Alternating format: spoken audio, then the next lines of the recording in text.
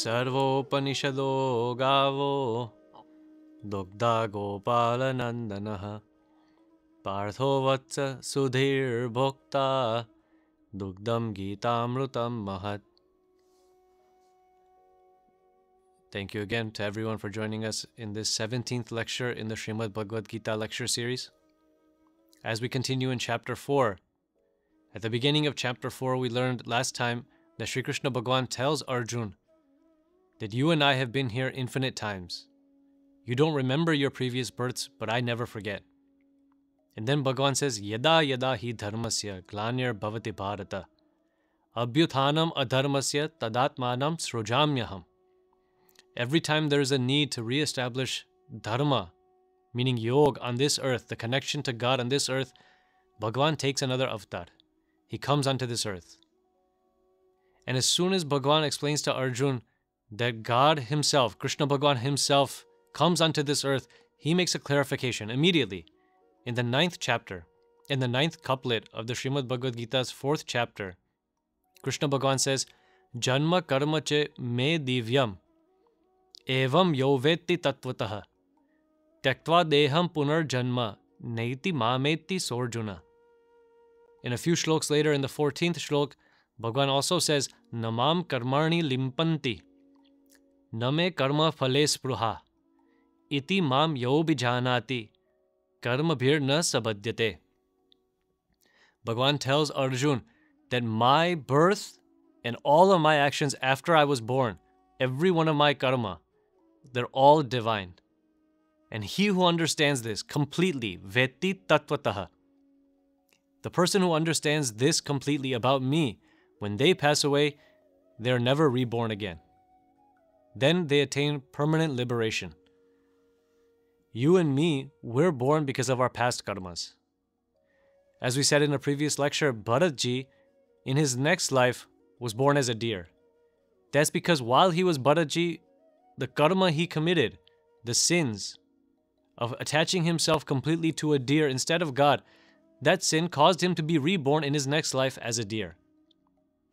You and me, wherever we're born, whatever body we have, all of that is based on all of our infinite past births, all of the karma, good and bad, put together. That's why we are where we are today. But it's not like that for Bhagwan.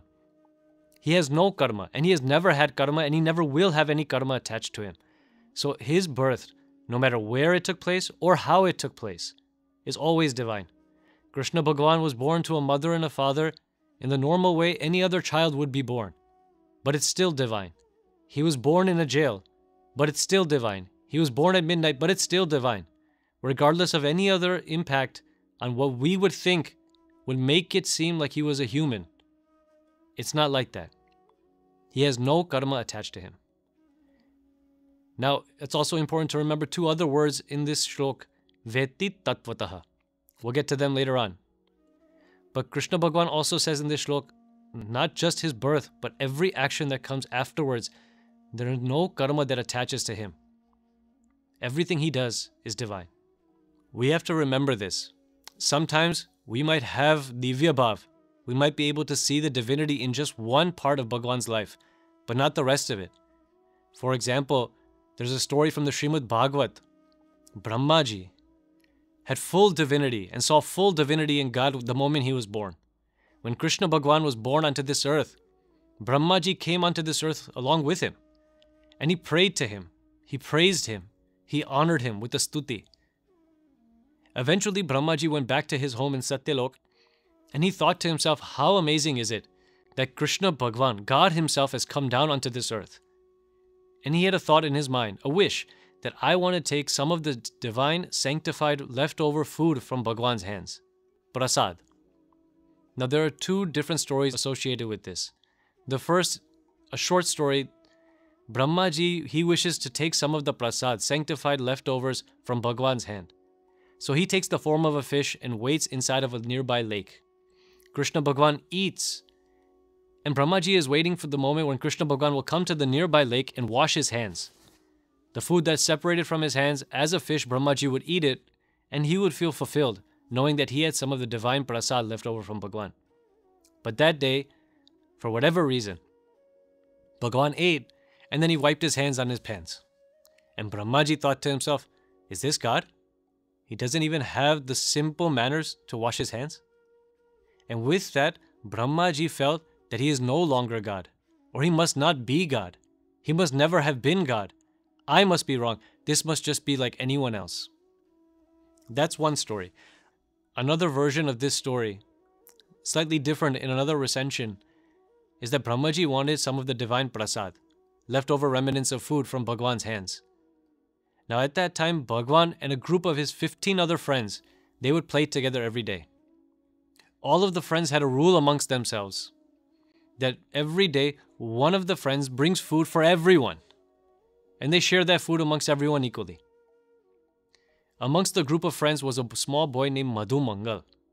Madhu Mangal was incredibly poor. Every day, when another person, another boy would bring the food, they would share the food equally amongst all of the other boys. Krishna Bhagwan would take his food, his portion, take some of it off, and give it to Madhu Mangal. That way, Madhu Mangal would get a little bit of a greater portion than just everyone else's equal share. And also, Madhu Mangal would get prasad every day. Eventually, Madhu Mangal's turn got closer and closer. He went home and he told his mother that in four days, it's my turn to take food for 15 of my other friends. What am I going to take?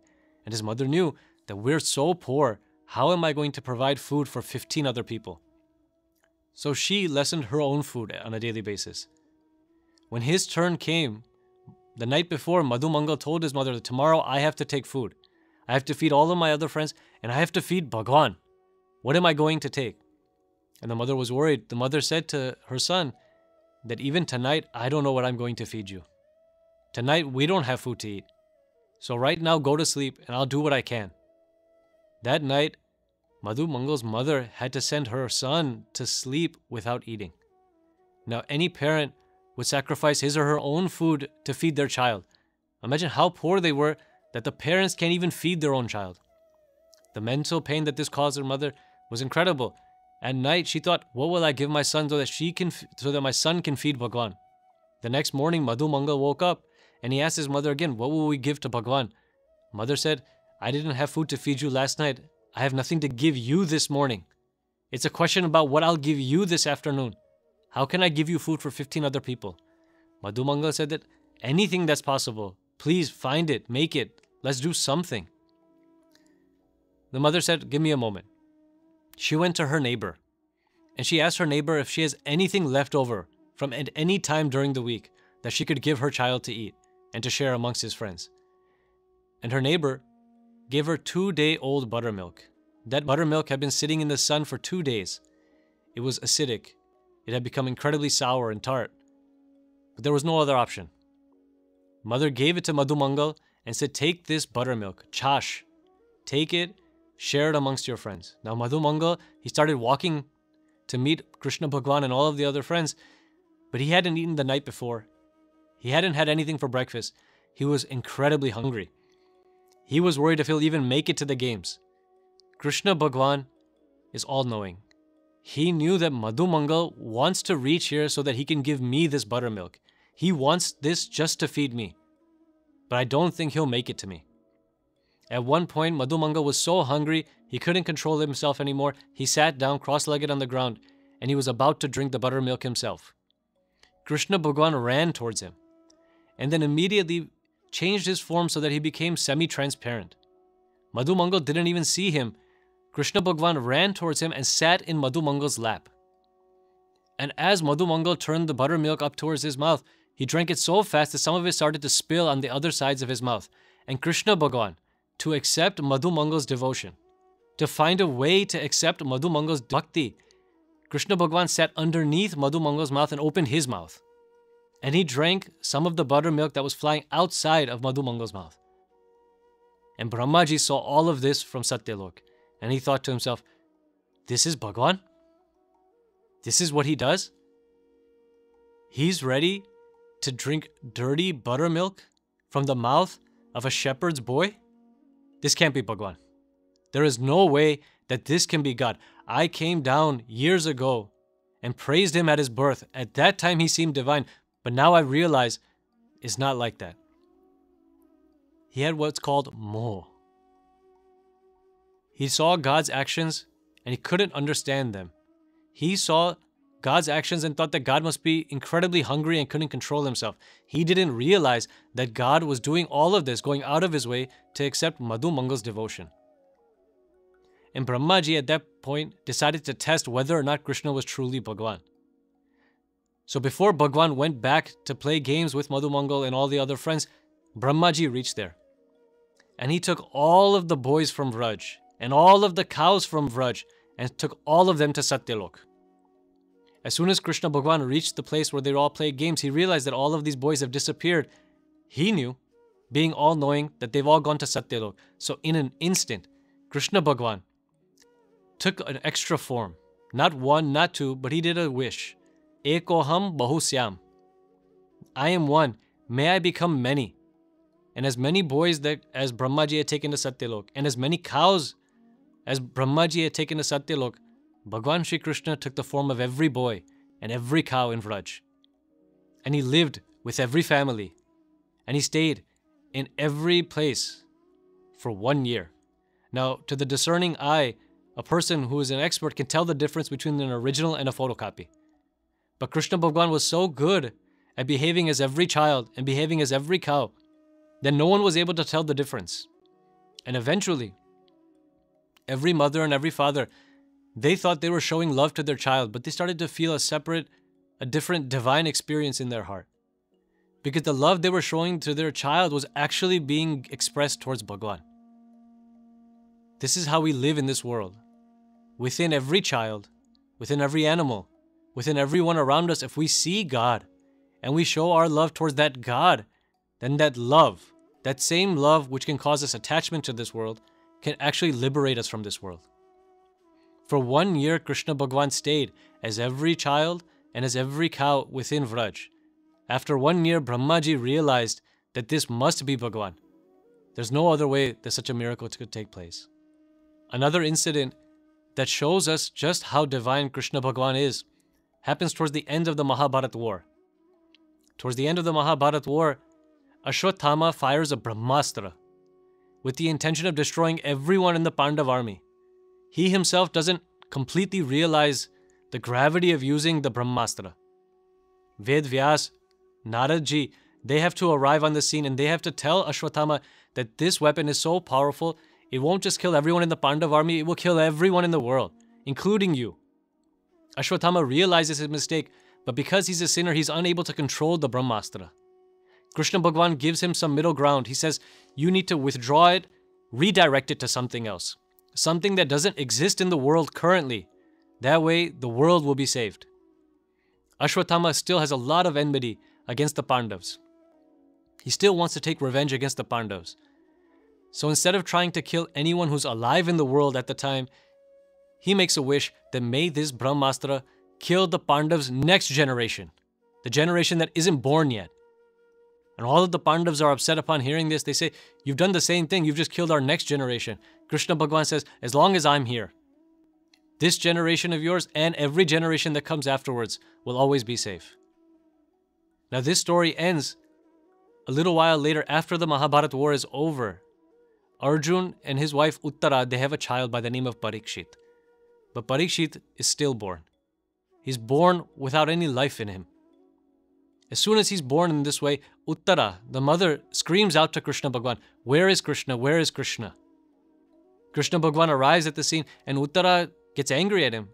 Uttara says that you promised that as long as you're on this earth, our next generation will always be safe. And here is our next generation. Here is my son. And he's dead. What will you do about it? Krishna Bhagwan, he looks at the boy, puts his hand on his chest, and he makes an affirmation. I'll say the entire affirmation first. Krishna Bhagwan, he says, Nokta Purvam Maya Mithya, Nacha Yuddhe Paravritah, Yatha Me Dahito Dharmo, Brahmanaschaiv Visheshatah, Yatha Ham Nabijanami, Vijayena Kadachana, Virodam Tena Satyena, Mruto Jivatvayam Shishuhu, Yatha Kanshascha Keshishcha, Dharmena Nihato Maya, Tena Satyena Baloyam, punar ujjivatam iha. If we look at each affirmation independently, individually, we'll see what Krishna Bhagwan is saying. Krishna Bhagwan is saying that if I have done A, B, C, D things in my life, and I am pure in this way, may this child be reborn. The first thing he says is Nokta Purvam Maya Mithya. If I have never lied in my life, may this child be reborn. From the very first statement, we know that this child should not be reborn. Krishna Bhagwan in his life, he's lied many times. He's lied many times to help win in the war. Not only that, he's inspired other people like Yudhishthir to lie in the war. The second thing he says, Nache yuddhe paravrita. If I have never run from battle, may this child be reborn. Krishna Bhagwan and Jarasandha had a war at one point. point, and 17 different times Krishna Bhagwan has run from this battle. He retreated. The third affirmation that Krishna Bhagwan gives, he says, Yatha me daito dharmo. If I have always lived according to dharma, the ethics of the world, may this child be reborn. Now he's broken the rules of war to kill Duryodhan. He's broken the rules of war to kill Jarasandh. And then Krishna Bhagwan even adds to it, Brahmanascha Visheshataha. If I've always had a special place in my heart for Brahmins, and I've always cared for them specially, may this child be reborn. Now he's had Brahmins killed, like Dronacharya. He's had Ashwathama cursed. And then Krishna Bhagwan continues. He says, Yathaham nabi janami vijayena kadachana virodham. If I have never gone against Arjun, if I have never argued against Arjun, may this child be reborn. The entire Srimad Bhagavad Gita is Krishna Bhagwan arguing with Arjun. And then he says, Yatha kanshascha keshicha dharmena nihato maya. If I killed Kans and Keshi, according to the rules of war and according to the rules of battle, may this child be reborn. He killed both of them when they were already exhausted from previous fights. It wasn't a fair fight against either of them. Krishna Bhagwan says, if all of these things, not just one or two, if all of these things in my life are true, tena satyena, with this truth, may this boy, baloyam, punar utjivitam iha. Now, giving all of these different vows, if the boy was alive, he should have died. But we see the opposite. Krishna Bhagwan puts his hand on Parikshit's heart. After saying all of this, the boy comes back to life. This is proof that Krishna Bhagwan did all of these things, and yet none of those things attached to him. He may have lied, but he wasn't a liar. He may have cheated in war, but he wasn't a cheater. How does this work? Because Krishna Bhagwan, everything he does is for a greater purpose. For example, if we go back into some of the things that he said, I mentioned the story of Jarasandh. Jarasandh was born to a king, Brihadrat. Brihadrat was married to the two twin daughters of the king of Kashi. When he was having children, both of the twin daughters gave birth to only half a child. King Brihadrat was so just vexed by seeing half a child from each mother, he was scared. He had both of them disposed of, both halves. And there was a demoness by the name of Jara. She found both halves of the boy, and without thinking about it too much, she put the two of them together. And all of a sudden, the boy came to life. She took the boy back to the king, and the king was so overwhelmed with joy about seeing his son actually back to life that he named the child after the demon. Her name was Jara, and she was bound, tied, and Jara is the one who tied her this boy back together. Jara Sand. Sand means to tie, to attach. Jara Sand was born in this way. Now he was an evil king, and he was actually Duryodhan's brother-in-law, married to Duryodhan's sister Dushala. Jarasandh had it in his mind that he wanted to wage war against Krishna Bhagwan in Dwarka. So he gathered dozens of evil other kings like himself to wage war against Krishna Bhagwan and to wage war against Dharma. And every time he would gather a large group of kings, he would invite Krishna Bhagwan to have a battle against him. Krishna Bhagwan would come. Krishna Bhagwan would destroy and kill every other king with his army. And then when it was the last moment, Jarasandh versus Krishna, Krishna Bhagwan would go to fight him, turn around, and run away. Not once, not twice, not 10 times, not 15. 17 times this happened. 17 times Krishna Bhagwan ran away from Jarasandh. Now, from a worldly perspective, it seems that Krishna Bhagwan was afraid. But as we said previously, Kunti ji understands that Krishna Bhagwan is such that he's not afraid of anyone. In fact, fear is afraid of Krishna Bhagwan. So why would he run from Jarasandh? When we look at it from the perspective of a devotee, someone who understands that Bhagwan is divine, we can see why Bhagwan did what he did. Bhagwan was actually being incredibly efficient. He let Jarasandh gather all the other evil kings together. Then Bhagwan would go kill everyone else and leave Jarasandh alive so that the second time he could gather another group of evil kings. And then Krishna Bhagwan would go a second time, a third time, a fourth time, a tenth time, fifteenth time. In this process, he let Jarasandh gather everyone else who was evil. And Bhagwan every time would go and have everyone else killed with his army. Jarasandh, in his mind, he thought that Krishna Bhagwan is afraid of me. After running away 17 different times, on the 18th time, on the 18th invitation, Krishna Bhagwan realized now it's time to kill Jarasandh. He took Arjun and Bhim with him, and they went disguised as Brahmins. At that time, when the three of them went to challenge Jarasandh to a one on one battle, Jarasandh saw them and he saw a mark on their shoulder. Adi Adijya Lakshma Vibhushitaha. Adijya means bow, the string of a bow. Because Arjun, Krishna, and Bhim were all warriors, for many years they must have carried a bow and arrow across their shoulders and backs. Now, carrying a bow across his on his shoulder, all three of them had a mark from it. Lakshma. And for a warrior, having this mark is like wearing jewelry. Vibhushitaha. They looked better for having it. Jarasandh saw the mark and he realized that these aren't Brahmins, these are warriors. And he said, Tell me who you truly are. Krishna Bhagwan, he said, I'm Krishna, this is Arjun, and this is Bhim. Now, the three of us are here, but we want to challenge you to a one on one battle. You choose which of the three of us you want to fight against. Jarasandh said, Krishna, you've run away from me 17 different times, so I don't want to fight against you. And out of the three of you, if I had to choose one worthy opponent, I feel that my worthy opponent is Bhim. I want to fight against Bhim. Him and his mace versus me and my mace, Gada.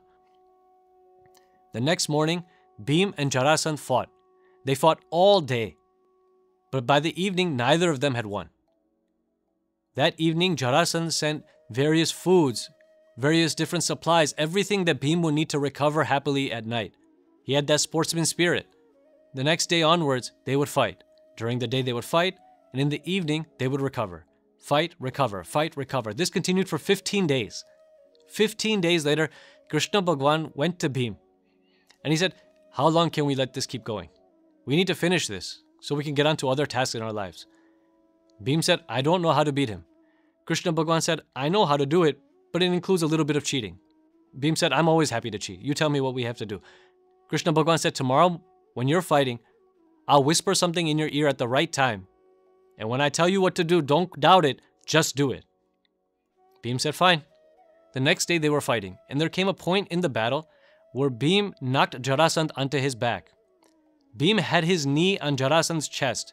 Krishna Bhagwan from the side saw this and realized that this is the opportunity. He told Bhim, Put your foot at his crotch, grab both of his legs, and rip. Rip his body down the middle. Bhim heard this and was shocked. Krishna Bhagwan said, Don't look at me and do what I tell you. And in that very next instant, Bhim did exactly what he said. He ripped Jarasandh's body into half. Krishna Bhagwan said, Now you have both halves of his body in your hands, throw them in opposite directions. He threw both sides of the body into opposite directions. Bhim asked Krishna Bhagwan afterwards, Why would you have me cheat in this type of terrible way? Krishna Bhagwan says, I am the only person here who understands how Jarasandh was born. He was put together by this demoness by the name of Jara.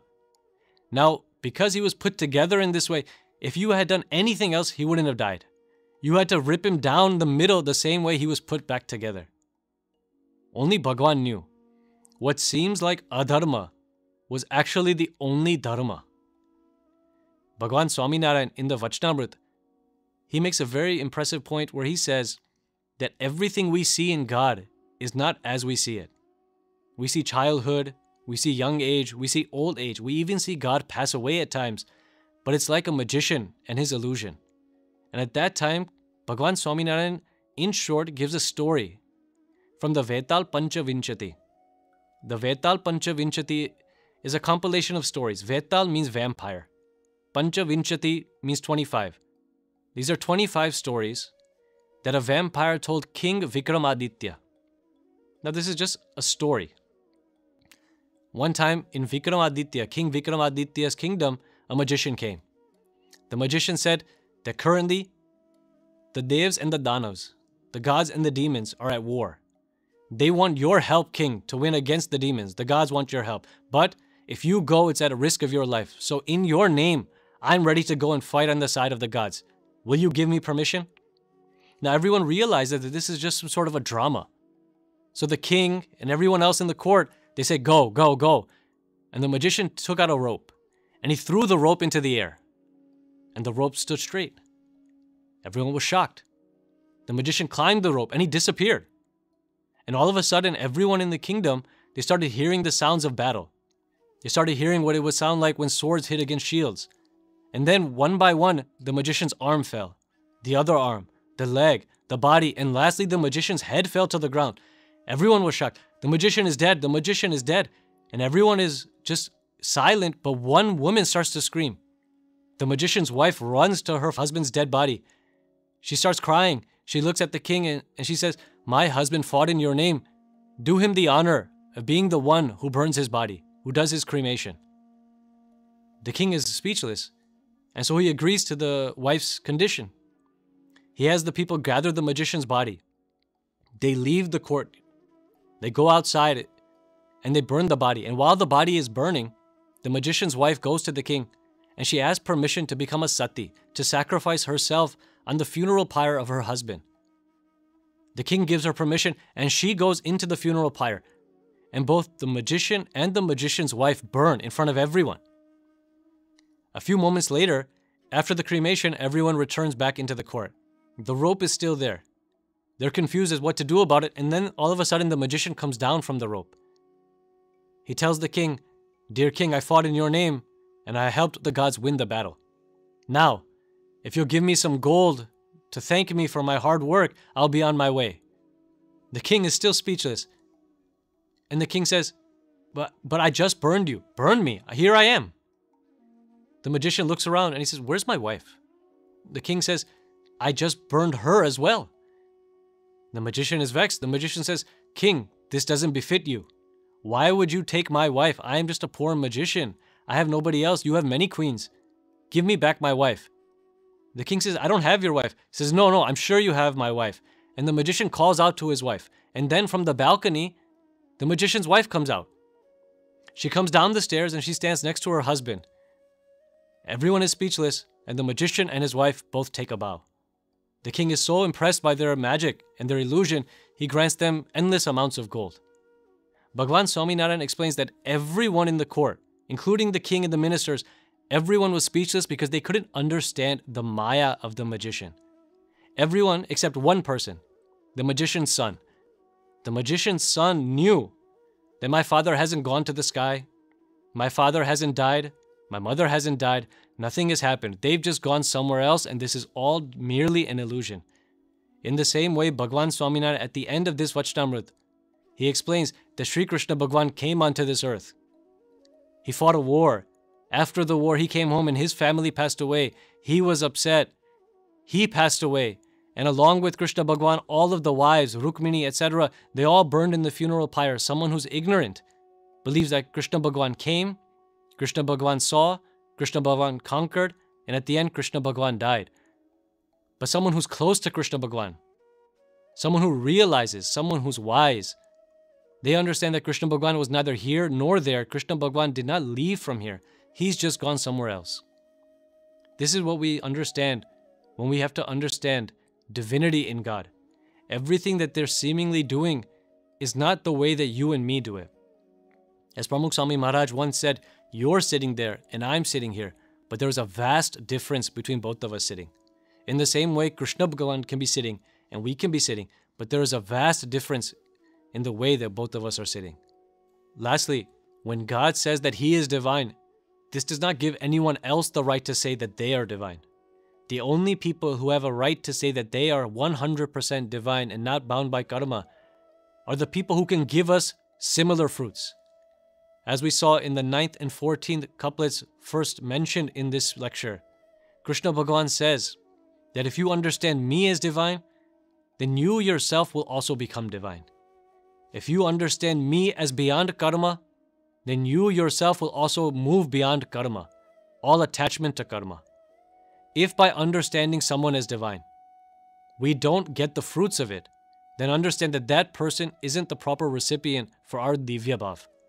In the same way, in conclusion for today's speech, I want to pray that we have found a true Guru, a true God, who are truly divine. Their janma and their karma are all divine. Understanding Bhagwan in this way, may we also become divine. Astu.